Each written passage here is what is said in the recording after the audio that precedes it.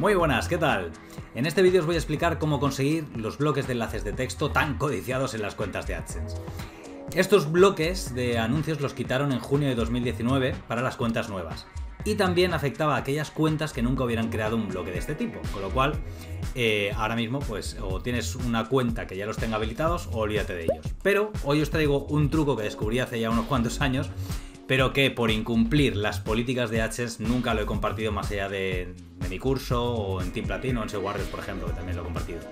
¿Vale? Pero eh, está saliendo mucha gente preguntando por ello y no quiero llevar a nadie a confusión. Esto tiene un riesgo de baneo así de grande, ¿vale? Así que simplemente os lo explico para que sepáis cómo funciona, pero nada más, ¿vale? Cualquier cosa que hagáis es vuestra responsabilidad. Vamos para allá. Si venimos aquí, fijaros, tengo un bloque de anuncios eh, adaptable, display, ¿vale?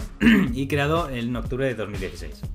Cuando tú clicas, nos da el código normal y corriente, ¿vale? Y lo vamos a pegar en esta página, ya lo tenía por aquí, ¿vale? Lo vamos a hacer a tiempo real, ¿vale? Le damos a actualizar, ¿vale? Fijaros que eh, es un, un anuncio de display, ¿vale? Con el formato auto, el display block y el data full with responsive para que se expanda a pantalla completa, ¿vale? Esto lo hemos editado en la home de, esta web, que, ya está muerta y, la tengo para precisamente este tipo de cosas, ¿vale? Y fijaros, tengo aquí un anuncio de display que me lo está expandiendo al ancho completo del div contenedor donde está incrustado, ¿vale? Bien, el truco es tan sencillo como venir aquí y decirle que en vez de auto ponga link, esto lo descubrí precisamente cuando en 2017 convirtieron los bloques de enlaces de texto en adaptables, porque antiguamente eran versiones eh, eh, de tamaño fijo. ¿Vale? Entonces me di cuenta de que el único cambio que habían hecho era, aparte del styling, adaptarle el, tamaño, le habían añadido el parámetro del data add form, ¿vale? De tal manera que, como veis, pues tenemos aquí un bloque de display que nos está mostrando un bloque de enlaces. Si clicas, te lleva a la misma página intermedia que te muestra eh, en cualquier anuncio de este tipo, ¿vale? Y además te destaca más contenido eh, de tu web. Y mira, aquí curiosamente nos está sacando más contenido de otras webs. Esto no es habitual, lo tengo que comprobar, porque igual esto es nuevo, ¿vale? Pero como veis, funciona perfectamente, no tiene mayor misterio, y simplemente, pues si queremos revertirlo, venimos aquí y le decimos que, de nuevo, auto, ¿vale?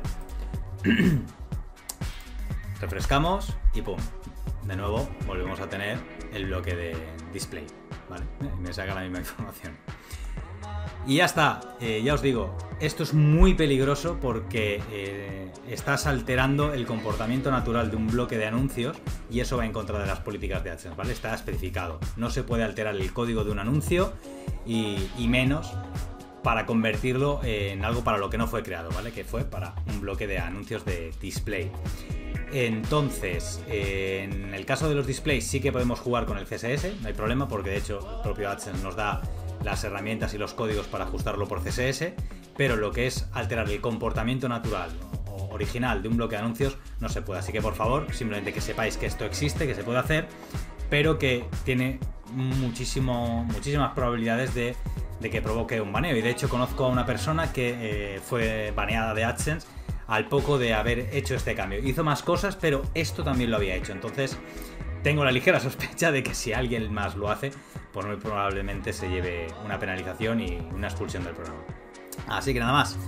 Eh, espero que os haya gustado el tip y, y, que os haya aclarado las dudas para que sepáis que no tenéis que hacerlo, por favor, no lo hagáis. Así que nada más, nos vemos en los comentarios. Un saludo.